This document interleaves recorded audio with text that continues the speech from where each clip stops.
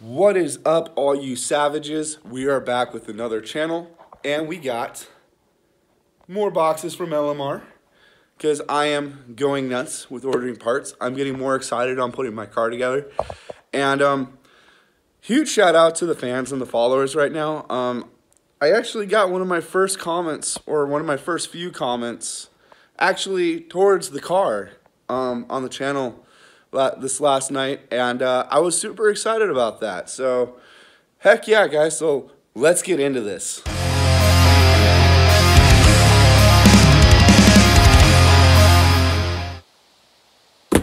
So, as you guys can see, I have an addiction. I have an addiction. I can't stop ordering parts. Uh, it's so exciting, guys. It's so exciting. This is big. I actually I actually opened up the wallet and actually spent some money this last week and uh, we're about to get into another unboxing video. But before we get into this, I do want to let you guys know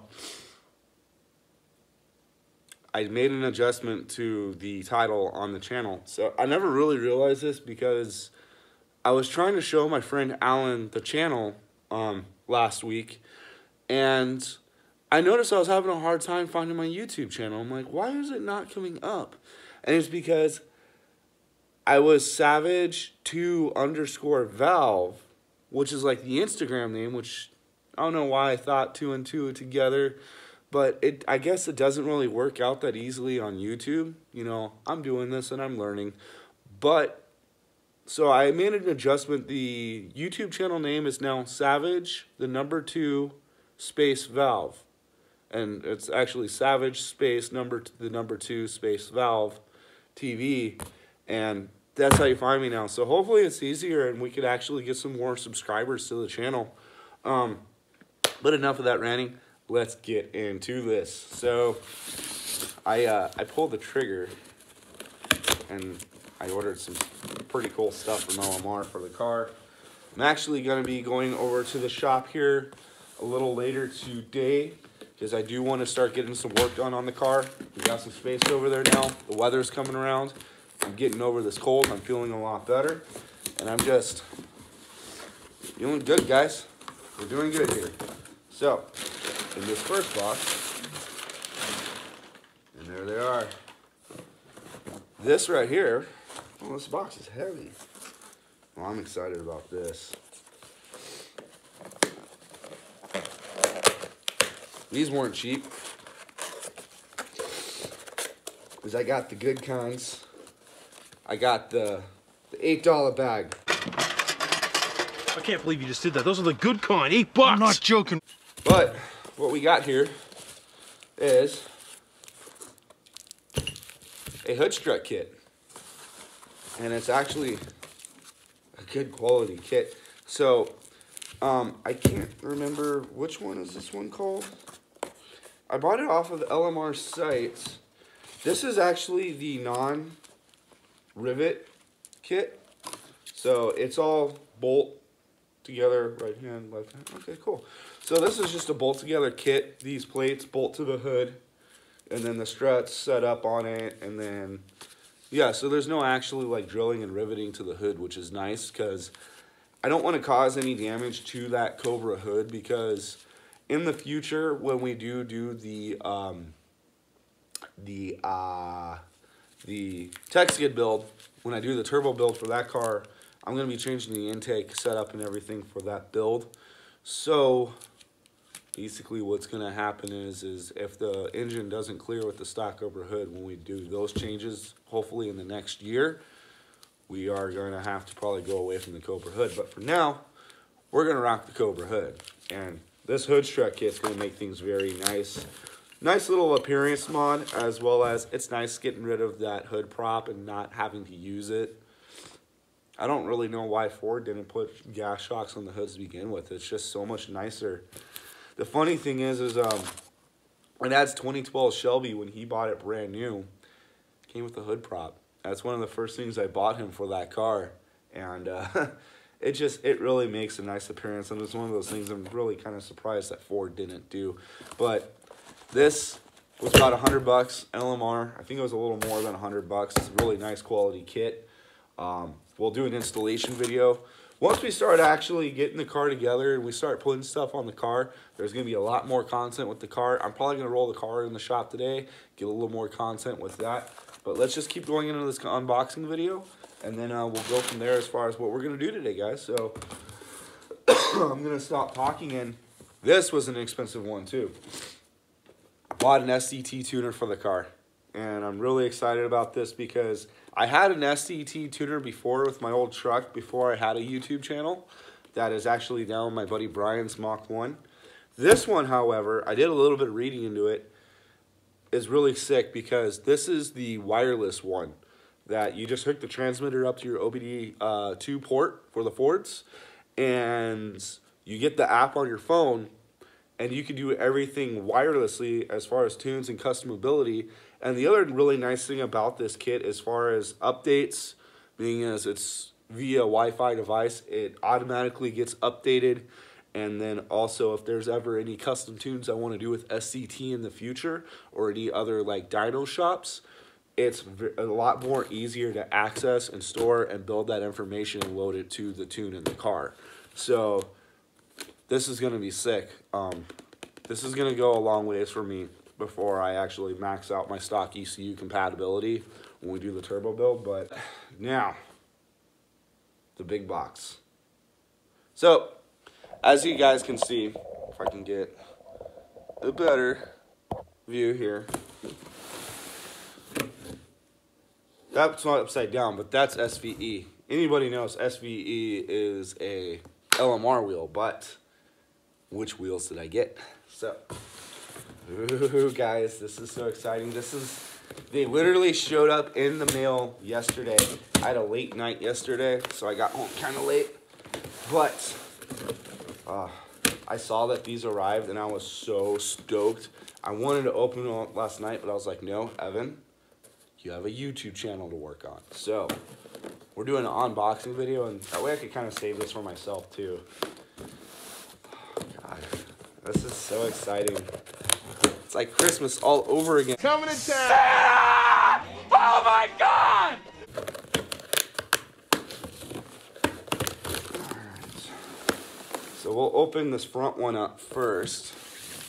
So, as you guys can see, that's a pretty skinny block. So I did go with the fatty skinny setup because the goal with the car is going to be a street strip car.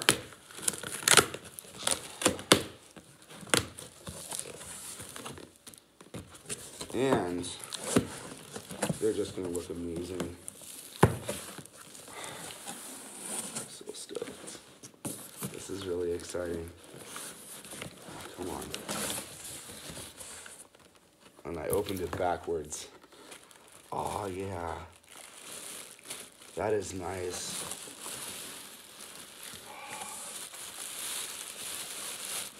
I've never actually seen these wheels in person, like in my hands. I'm used to hole shot wheels and weld wheels. They're a little heavy for what I'm used to. Usually I, I, I, usually deal with uh, billet wheels with our drag cars. That's that's a little heavy, but it's pretty gnarly. It's actually a really good durable wheel for street use, that's for sure, because billet wheels aren't good for street driving, but, oh boy. Ugh. Come on, Evan. Come on, Evan. It's just a wheel. Don't scratch it, Evan. Oh, yeah. I really like how well they package these. SVEs, yo. Those are sick. Those are really sick. These are gonna look fire on my car, especially when I respray it black. Oh my God, guys. Wow. I've never felt or looked at one of these wheels in person before. I've seen them in pictures and I've seen them on cars, but they actually have it and feel it. This is a this is a gnarly wheel. This thing's pretty heavy. Um, so this is going to be a temp wheel setup for the car until I get a little more crazy with the build. Um, I, I really want hole shots, but I got such a good deal on these through LMR I couldn't pass it up because the wheel the wheel combo I really want from the car from a company called Whole Shot in Florida is gonna be about two grand because they're billet aluminum wheels and I want to run a bead lock and stuff. But as far as the wheel setup goes for now, these are gonna look great on the car as a driver, drive it around, enjoy it, and they're nice. They're heavy, which I'm not too too mad about, which means you know they're a good strong wheel for street driving for sure, which is gonna work out great for me. But that's awesome. So um, I really, as exciting as it is to see this front wheel, I really want to see this rear wheel now. So let's set that there. And Set that over there. Set this here. Um, yeah. Uh, I thought that was exciting. I'm really excited to see this rear wheel now. It's because I want to see the lip and the, the offset that they do. Because I think these are six and a half back spacing that they do for the new edges. Because the new edges have a wider rear end in them than the other cars. Oh, interesting.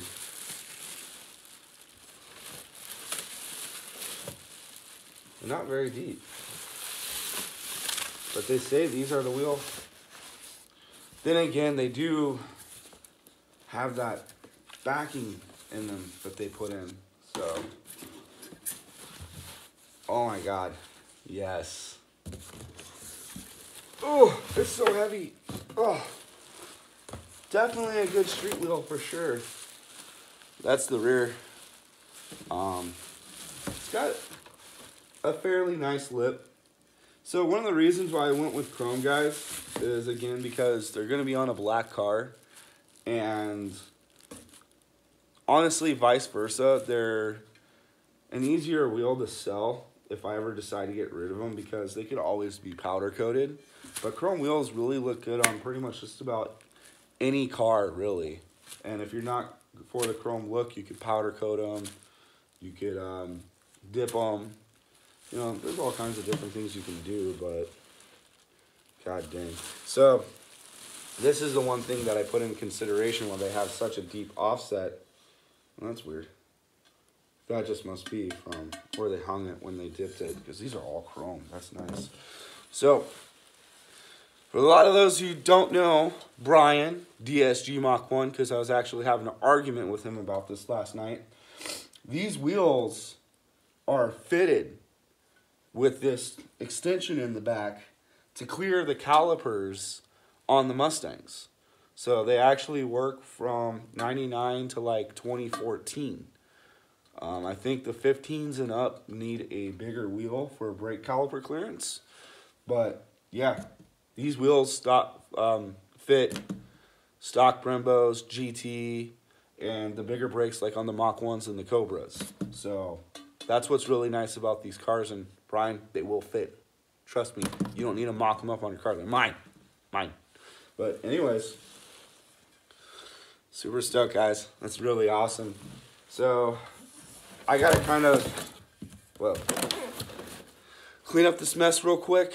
Um, I got a couple of things I got to do this morning, a couple errands to run, but um, we're to pick this up and uh, we'll probably meet you guys back up at the shop here in a little bit. But yeah, when we get this unboxing out of the way, Super exciting, super stoked. Wow. I wasn't imagining these wheels to be this expen- this this heavy. Um, but for a street set, they're durable, which is good.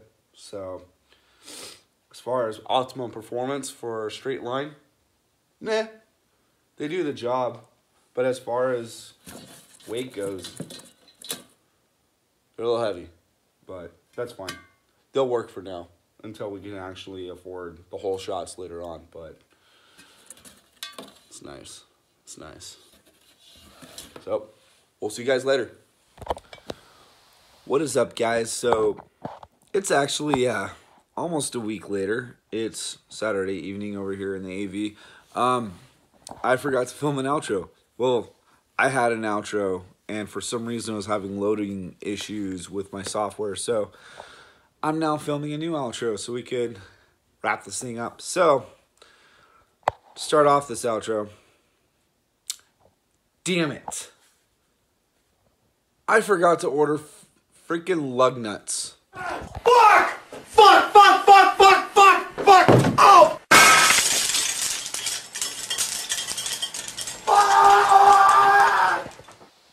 So yeah, anyways, um apparently SVE has a specific lug nut for their wheels with a specific offset washer that they don't include with their wheels, which I found out about when I went through and inspected the wheels and found no lug nuts.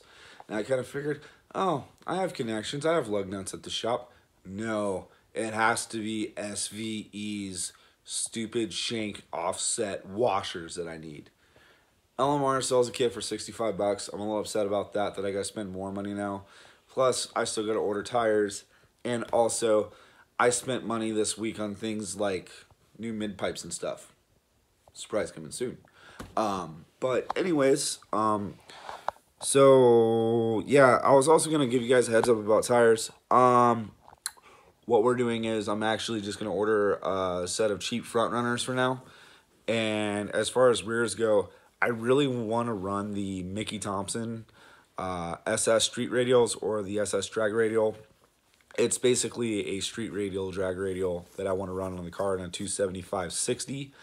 However, um, being cheap about that too right now, I have a friend that races extreme drag radial and he's got a couple of throwaway sets off of his drag car that I am going to get off of him. So I'm going to get at least one of those sets so I got something to mock up on the car. But I'm not going to be able to mock them up until I order lug nuts, which I have to do this week. But I went and spent my money on mid pipes, which is going to be in the next video. But um, other than that, guys, yeah. Again, guys, I really hope you dig the content. I really hope you guys like the direction we're going with the build. Um, if you guys want to see more, like, subscribe, follow the channel. It's easy. Comment. I like comments. Like I said, I got a comment about the car. Loved it. it made me really excited and more motivated to do more videos. So, um, understand we're putting this one out a little later than I anticipated on. The video is probably already on YouTube. Um, the, picture of the wheels are probably already on Instagram is what I was trying to say. But now we're going to put the video out on YouTube and so you guys can see the details. Also, anybody watching my child that my channel, I can't even talk right now. What's wrong with me? Um, so anybody, any blah blah blah blah. Anyways, so for those of you watching my channel that also follow Boosted Lifestyle, that little skit that was in mine, I almost had that released before his channel. So dumb. I, I, I feel like I try to do things to be cool and cooler YouTubers do like things to do the same thing that I'm gonna do to be cool before after I was gonna do cool things but beat me to it. Sad face.